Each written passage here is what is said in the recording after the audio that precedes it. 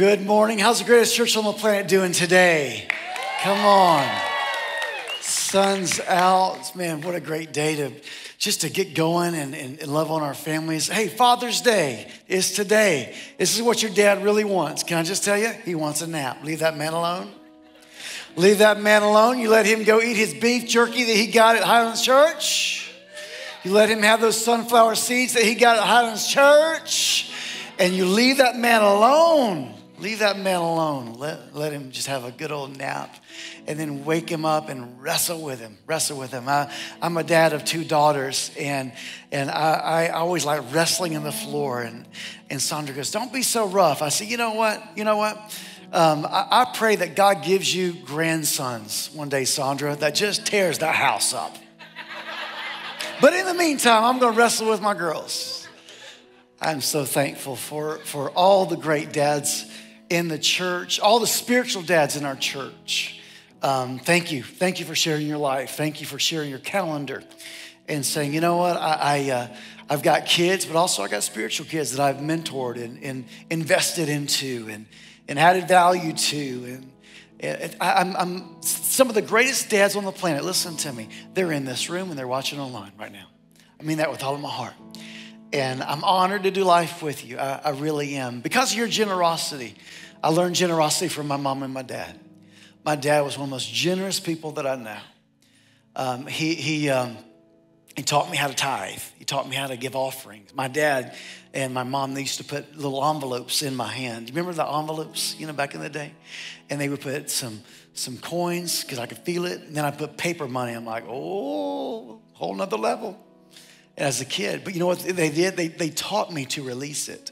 They didn't teach me to keep it. And, um, and so my dad taught me generosity. And because of your generosity, moms and dads and, and students, by the way, we got students at Tithe. They have part-time jobs and they're hustling. I, I, just, it blesses, it just blesses my heart, the generosity, the spirit of generosity that's on our church.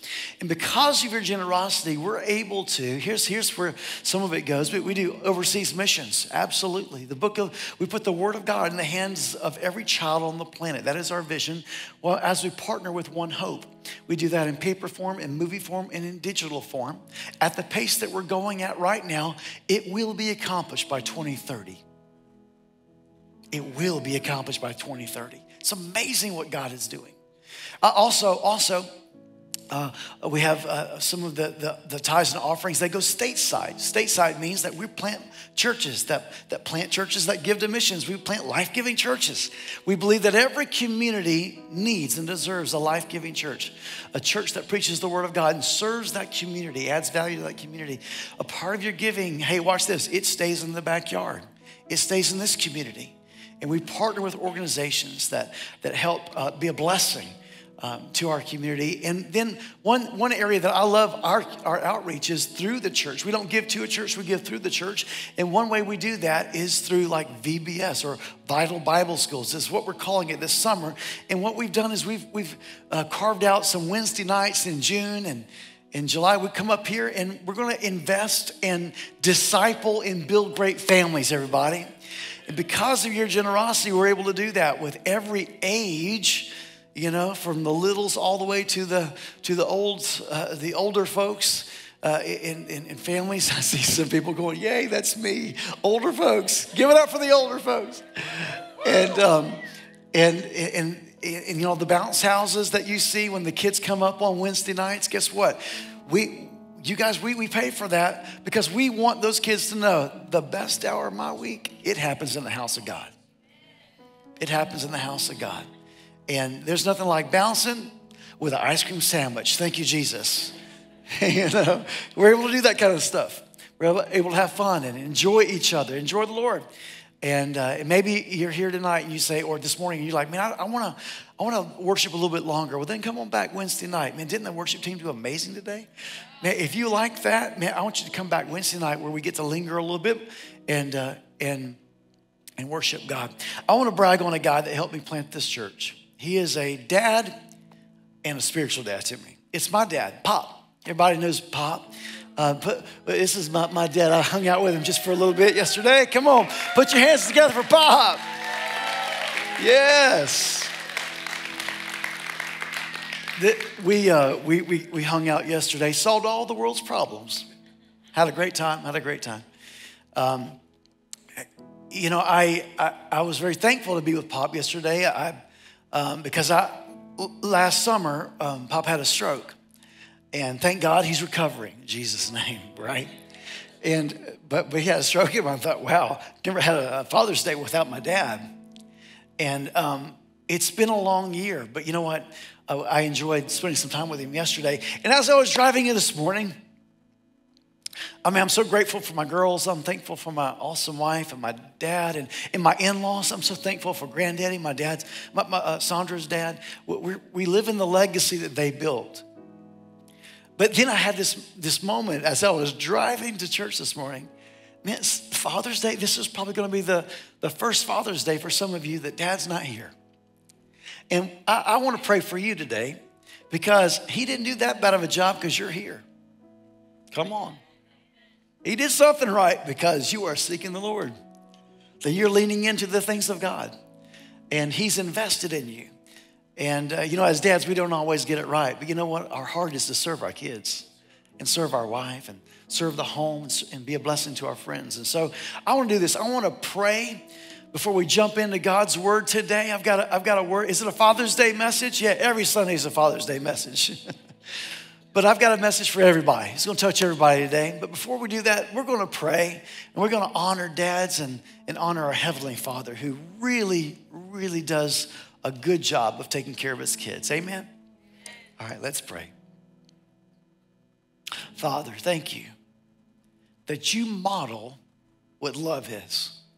You, you've set the table before us that we can just come to the table and have not religion, but relationship. Thank you that you want to be with us. Thank you for that you provided a way to come home. And so today, I pray that we would open up our hearts and open up our minds to your word. And I pray that as we leave this place, that Jesus is the only name that we remember.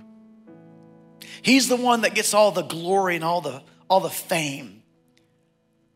But before we go and, and read your, the Bible, study your word, grow in our faith, I pray a special blessing on every dad in this place and joining us online. The world has beat us up. The world sometimes says you've done a poor job or you've done this or you've done that. God, I pray that they would be refreshed, not condemned, but refreshed because they're with you, because they love their family. And Lord, I pray that you would drop a special word in the heart of every dad here. Give them the strength to go on and love and minister and serve and the hustle to show us what laying their life down for us looks like. Lord, we want to do that. We want to be servants first. Servant leaders is what we want. So bless them good, God. And give them a good nap this afternoon. In Jesus' name, everybody said, Come on. Everybody said, one more time for the dads. All the dads. Let's put our hands together for the dads. Come on. Can we celebrate them? God bless you. Happy Father's Day. Happy Father's Day, happy Father's Day. Well, this is what we do. We, we do a study of a Bible or a character in the Bible every summer, and, and we're doing this, this summer series. The first two weeks of this series, we, we taught you about um, what the Word of God does for us and, and, and how, how, what the morning hours look, because we believe that what you do in the morning, it sets the pace and the trajectory of the rest of the day. Uh, Sandra did an amazing job last week, and as she shared uh, about what God's word will do from the nine to five, your, your work life. Because I think that sometimes we as Christians, unfortunately, we frustrate the world by believing one thing, and then yet from nine to five, we project something else. And so God's word keeps us on track so we can show that God loves people, that God's got a plan for people, and God is using us to be a blessing to others. And so today I want to do this. I want to start a Bible study, a short Bible, book of the Bible, start a Bible study in the Old Testament book uh, named after its character, and his name is Jonah. Everybody say Jonah. Jonah, that's right. When, when you study the Bible, any book of the Bible, this is here, here's the big idea. You study for application. You study for application. How can I walk this out today, this afternoon, this week? We don't study just to get smarter, we study so we can live it out, right? And now, the background of Jonah Jonah is the Old Testament book. He's an Old Testament prophet, the prophet uh, to the king of, of Israel, uh, King Jeroboam II. In the Bible, prophets hear from God and they proclaim what God has said. Now, under the Old Covenant, God would speak through prophets, kings, and priests. Now, thank God we live under a new and better covenant that God can speak directly to every single one of us. Amen? Aren't we thankful for that? That God still uses prophets today, but I'm so grateful that God speaks through His Word. He speaks by His Spirit, that God is still speaking today. But back then, that God would speak to a prophet, He would proclaim to uh, what, what God is saying. Now, the events happened around 760 BC, about 250 years after King David. Now, the book was written actually at a later date, but we don't know exactly who that author is. If ever God painted a picture of human nature. It's in the book of, of Jonah.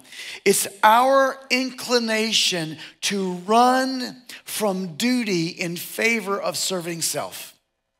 Let me say that again. It's just human nature. It's, it's, we are all bent, just born to the world, bent to go a little bit crazy. Come on, somebody right? And he did it through Jonah. God paints this, this scripture uh, with the perfect portrait of can we just say a reluctant leader? So if you've ever had some hesitation about obeying God, well, you know what? You can identify with, with Jonah's story. Let's start. Jonah chapter 1, verse 1. Are you ready to study your Bible? If you've got your Bibles, come on, wave your Bibles at me, wave your phones at me. Well, come on, you're ready to go? Jonah chapter 1, here we go verse 1 the lord gave this message to jonah son of amittai okay? So so all of a sudden the lord he spoke to jonah.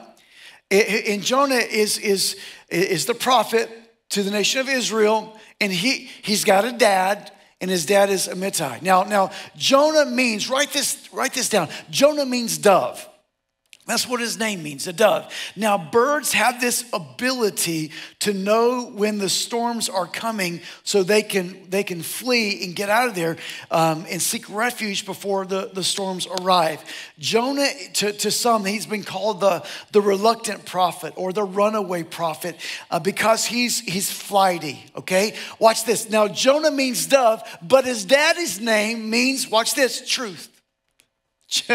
okay, so Sana, we got Sana. Jonah is he's, he's a dove. He's the, the son of a guy named Truth, and so he is flighty. He's the one that's supposed to be carrying on or carrying the truth of God, but he gets a little scared. Okay, so let's keep reading, but we're not going to get down on Jonah because um, the truth is a lot of that goes on in all of us. Verse four, uh, uh, John chapter fourteen, verse sixteen. Jesus said this Look, guys, I'm going to ask the Father, and, and He's going to give you another helper that He may abide with you forever. And He is the Spirit of truth. He's talking about the Holy Spirit. And the Holy Spirit will live with you, and He will be in you. Let me say that again. The Holy Spirit, the Spirit of what? The Spirit of truth will be with you, and He will be where? In you. Now, look, we our dad's name might not mean truth, but we've got the spirit of truth on the inside of us, right? All right, but here's the problem. We know that we are the carrier of truth, and yet we still fly away sometimes. Are you guys seeing the parallels with this? Little teach you today, but we're gonna have a good time, all right? Let's keep reading. Jonah chapter 1, verse 2. Go to the great city. This is what the word says, to, to Lord says to Jonah. Go to the great city of Nineveh, northeast and preach against it because its wickedness has come up before me. But Jonah arose to flee to Tarshish, southwest, from the presence of the Lord. He went down to Joppa and found a ship going to Tarshish. But so he paid the fare and he went down into it to go with him to Tarshish from the presence of the Lord. Ladies and gentlemen, you you can run from what God told you, but you cannot run from God. And when you try to run from God, guess what? There'll always be a group of people going the wrong way. Maybe you are that group of people. I know I was at times. There, it's, it's, it's, funny it, when you have clarity about I know what to do or I believe I know what to do it, and God's leading you, there's always a group of knuckleheads going in the opposite direction. Nineveh was the capital of, of Assyria in biblical times. Today, that would be like a, a northern Iraq. And Jonah was a prophet to the nation of Israel. Assyria, oh, this is funny, was the greatest enemy of, of Israel. Israel, uh, uh Assyria is, was known as a, a violent culture. They would torture the people that they came against. Matter of fact, they would, they would, um, uh, they would murder them and then place them so when, around the city so when people came through the city they would see that okay the assyrians have have been here. So check this out. So god is saying okay you're a prophet to israel. I need you to go to your greatest enemy and and tell them to turn or burn. So isn't it funny like well i just know no, uh, jonah he's the one that runs from god. You would do the same thing too right? So we're not going to get down on that because we won't even invite our coworker to church. You're a Jonah, right? So we learned in week one of the series when we read our Bible, we talked about this in, in Wednesday, this past Wednesday, that God will put um, Easter eggs like Stan Lee, any Marvel fans, or like Hidden Mickey, any, any Disney Park fans. There's, there's Jesus, little snapshots of Jesus are throughout the Old Testament. And you can see a type and shadow. Oh my goodness, this is the, the uh, uh, uh, a hidden Mickey all throughout the scriptures. Here's an example of that. Jonah is called by God to go serve his enemies. Do we know anyone else that has asked us to pray for our enemies? Yes, it's Jesus.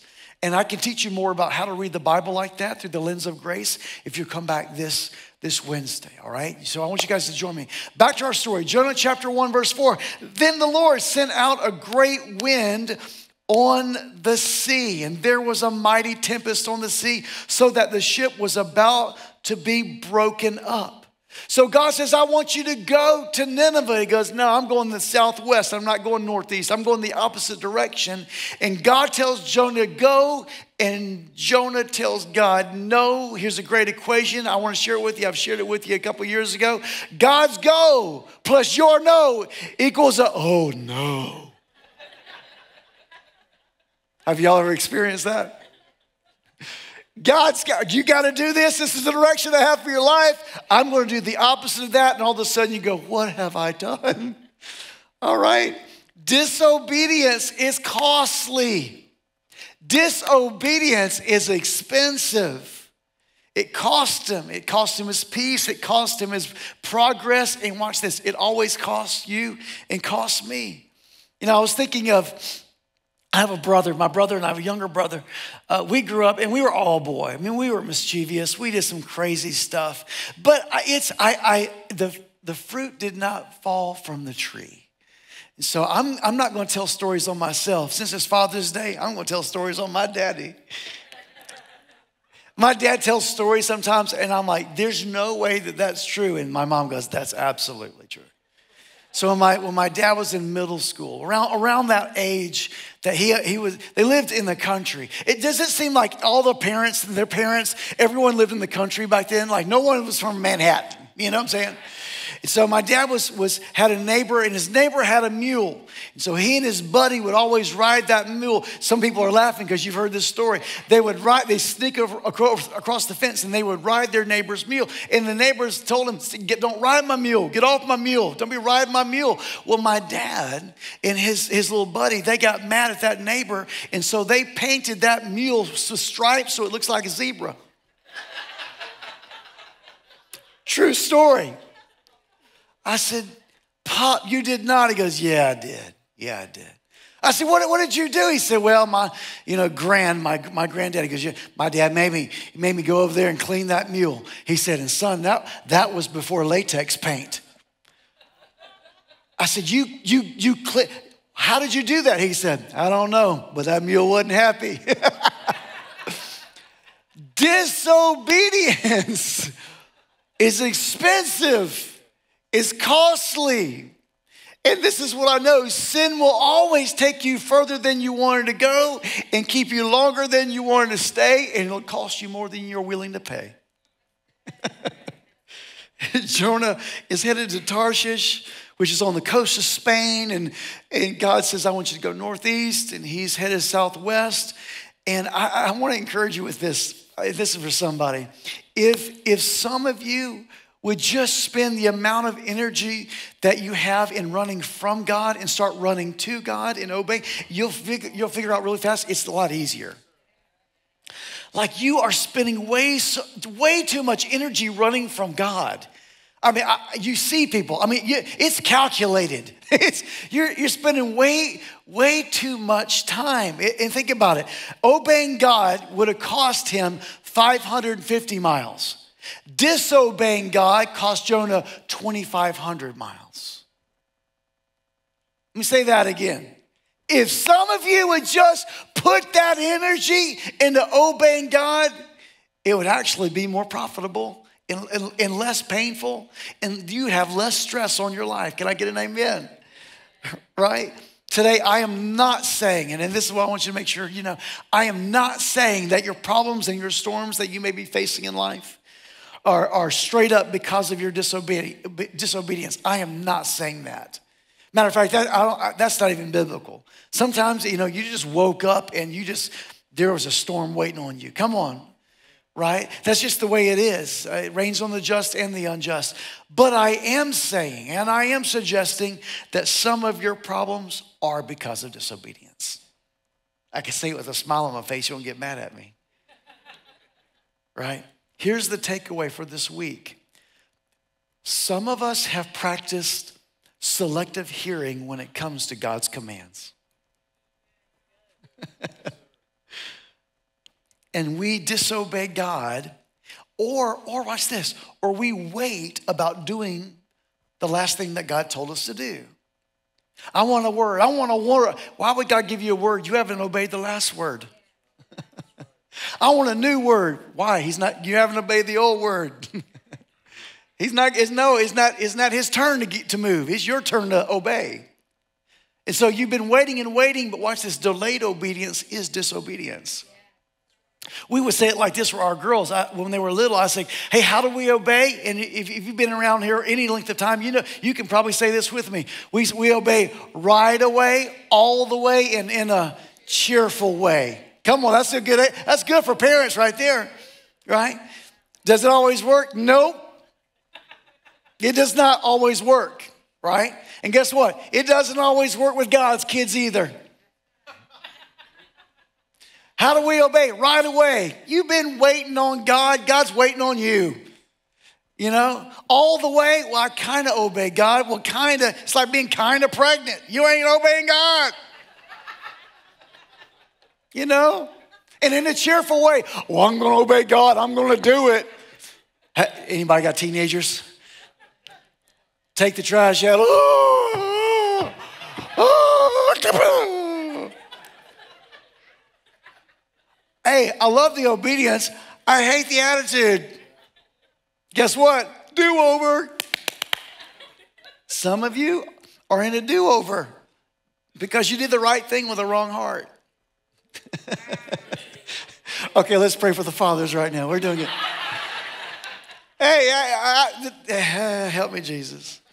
Selective hearing when it comes to the, to the things of God. So I have some extended family members. They got um, they got hearing aids. You know, they, they found out that they're years working in the factory and, and there's just a lot of, you know, so they're hearing aids. And, and what's funny is, is they were, they were um, their spouse, I'm trying to be super vague, their spouse was, was yelling, Hey, do this and do that. And I was with him and I said, So and so. I said, I think they're talking to you. He goes, What? I'm like, How did you hear me and you didn't hear that? He looked over at me, he went,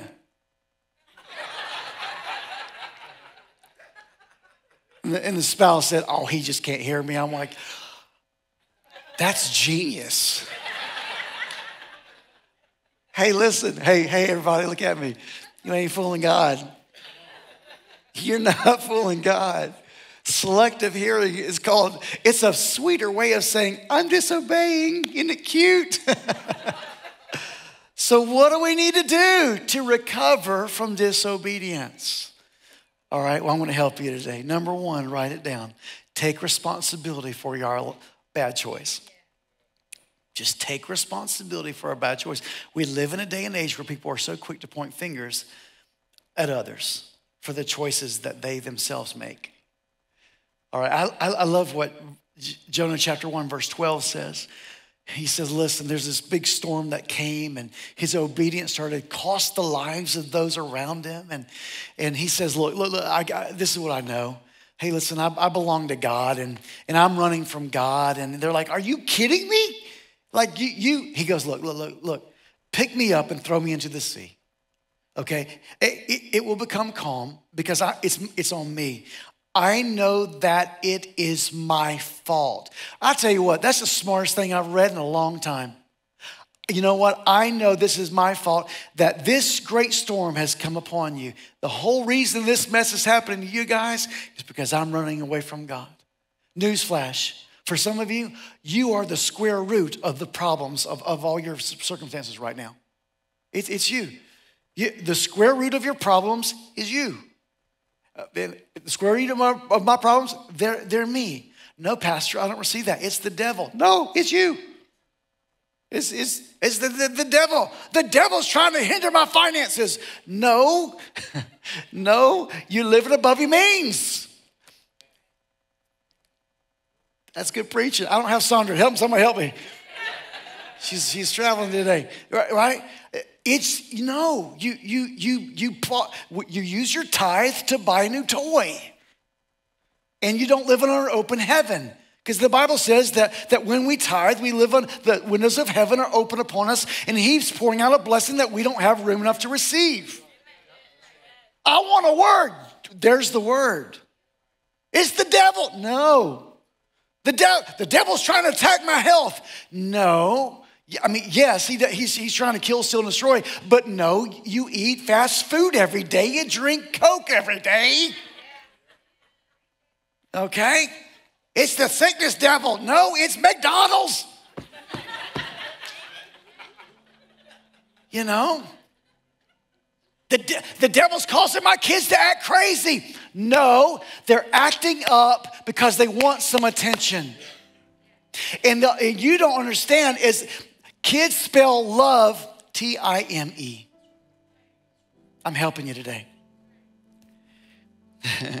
Here's a powerful verse about us owning up to our own choices. I love this. Proverbs chapter 23, verse 13. A man who refuses to admit his mistakes can never be successful. But if he confesses and forsakes them, watch this, he gets another chance. Uh, anybody wants another chance? I do. I do. He gets another chance. Thank God we serve a God of a second chance. Write this statement down. The first step at receiving a second chance is always a repentant heart. That's where it starts. Hey, God, I confess it. I own it. I'm sorry.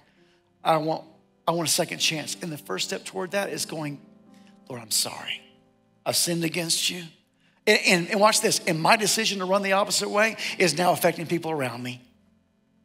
So I'm going to start there. Jonah was picked up and thrown overboard, but God knew that Jonah would make the decision and own up to his sin.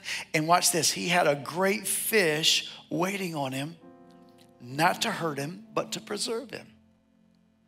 You th- some of you in this room, and some of you joining us online, you think that God wakes up every day waiting to get back at you. He's actually waiting to rescue you. And we talked about this Wednesday night. I want to encourage you to come this Wednesday. When you start reading your Bible through the lens of grace, you'll see that God continues to try to help and help and rescue and love and forgive and restore and redeem. He sent a great fish, not a great white. Is a shark waiting? No, no. He sent a rescue plan. And there's always consequences to our sin, but there's always a way back to God's will. the story of Jonah is a story of a loving God that is pursuing his son because he loves people that are far from him. Do you know that the people of, of Nineveh, God loves them? He just had a son rebelling. He's like, I'm, I need you to get right. I need you to repent. Why? Because I want to redeem a nation. I want to redeem a. God doesn't want you to repent so you'll feel bad. He wants you, he, he convicts you so you can repent so you can be a blessing. That's it. Our running from God, I am so thankful for this. It does not cancel the calling of God on our life. All right. So number one, number one is, is what are we going to do? We're going to take responsibility and own our, our last bad decision. And then number two, write it down. Obey God and take steps. And I wrote that, I, I wrote that statement, obey God and take steps, because you can obey God in your heart. God, I get it. I'm, I'm, I'm pursuing you. I'm, I'm going after you. But see, steps, obedience can only be expressed through action steps. I, I can tell my wife I love her every day, but I, ultimately I need to grab the vacuum cleaner. Come on, ladies, where you at? Ultimately, I, I got to start proving my commitment. All right, well, Pastor, that's number two. What's number three? There is no number three. Obey God, take steps. Jonah chapter 1, verse 17, we're gonna wrap it up today with this. Now the Lord had arranged for a great fish to swallow up Jonah, and Jonah was inside the fish for three days and three nights. Does that sound familiar? Three days and three nights? What is that? Ah. See, everything points back to Come on. The Old Testament, the New Testament, everything points back to Jesus. Jesus. What am I saying today? Your breakthrough is swimming towards you. If you would just say, That's on me. I repent. I'm sorry. I'm sorry, God. Today I obey, and today I prove it by taking a step. Let's all stand to our feet. Hope you got something out of today's message I'm going to unpack this in a more deep teaching this Wednesday. And I would love for you to come on back and be a part of that. Before we leave, I want to pray for you right now. God's got something special that He wants to do in your heart before, before we leave. Let's all have your head bowed, every eye closed. Heavenly Father, ah, so good to know that Old and New Testament is a picture of a loving God that's pursuing a sinful mankind. We're broken, we're messed up, we, we, we're twisted, we are bent toward selfishness, we're bent toward fear. But because of your loving kindness toward us, you throw out the net, you give us another chance. So, Father, right now, right now, we say, I'm sorry. I repent. We repent. Go ahead and own it. Just tell the Lord right where you're at, just in your heart, Lord, I'm sorry. I'm sorry. I'm going to go back to do that thing, that, that step of obedience. Maybe that obedient step is making that phone call and apologizing. Maybe that obedient step is, is uh, a text away, a, a, a conversation away. Maybe that obedient step is, is doing the principles of God, some biblical practices that you know, yeah, I've been, I've been skating on that. I've been passing on that. And today I need to get back to that. Lord, thank you the moment that he repented, you deployed. You sent the answer. So, right now, as we repent and confess our sin, just in our heart between me and you, us and you, Lord, the answer is being released. The prayer that we've been praying, the breakthrough, the breakthrough that we've been standing for, it's on the way because of your loving kindness. Thank you, God still in the attitude of prayer. If you're here today and you say, man, I, I uh, I've never read the Bible uh, through the lens of grace. I, I, I, thought that God was mad at me. I, I just thought he was waiting for me to mess up again. No, no, God loves you. He's pursuing you, and, and He's doing that again today. And, and you knew that when you came on the campus or you walked through the door. It's almost like there's this homing beacon, like, man, I, I feel like drawn. I, I feel drawn. You know what that is? That's the Holy Spirit. He's saying, come home, come on back. I want to know you, I want to have a relationship with you. And today, that can happen. You may not know how to do that. So I'm going to say a prayer for you. And if you be so bold and say, Hal, could you please, please count me in on that prayer? I want to know God. I want a real relationship with the Heavenly Father this Father's Day. I'm a sinner and I need a Savior. Today I'm coming home. Or maybe, maybe you made that decision a while back, but today you, you find yourself far from God. But today you also find yourself saying, I'm sorry. God, forgive me. I'm coming home. You would like to rededicate your life to Christ. You want to come home, start that relationship again anew. Either of those invitations, if either one of those, I'm not going to embarrass you, but I want to pray for you before we leave. On the count of three, this is what I want you to do. This, if, this is pretty bold. Just slip your hand up and slip it right back down. That's just you saying, Pastor, can you count me in on that? I, I mean business with God. Today, I want to start my relationship with the Lord, or today, I want to recommit my life to Jesus Christ. And I mean that. I'm not going to have you come up forward. You can make this decision right there in your chair or right wherever you're joining us online. On the count of three, are you ready? Come on. What a great Father's Day. One, two, three. And slip your hand up right now. God bless you. This is awesome. This is great. Well, I'm going to, I'm to pray for you. And I'd love for you to do this. I want everyone to pray together. Just repeat after me. Let your heart agree with it and speak this out of your mouth. Just saying, you know what, this today is my day. Say, Heavenly Father, Thank you for Jesus. I believe that He is the Son of God. I believe that Jesus died for my sin. I believe that Jesus rose from the dead. And God, I'm sorry. I'm sorry for living life my way. But today I'm living life your way. I'm a sinner and I need a Savior. So save me now. I surrender my life to you. Make me brand new. Fill me with your Holy Spirit right now. In Jesus' name, amen. Father, thank you. You saw hands that went up. Lord, I pray a special blessing for all the families and everyone under the sound of my voice. Just being in your presence was so good today, God. We leave here encouraged. We leave here built up, knowing that you are the God of the second chance. Come on, church. He is the God of the second chance. And for that, we are grateful. For that, we are so glad. I pray a blessing over your people before we leave, like we do every week. May the Lord bless you. May the Lord keep you. May the Lord's face shine upon you. May the Lord be gracious to you and lift up his countenance upon your life. And may God give you his peace. If y'all receive that blessing, come on, put your hands together and let's thank God for what He's done. Amen. Pastor Coop.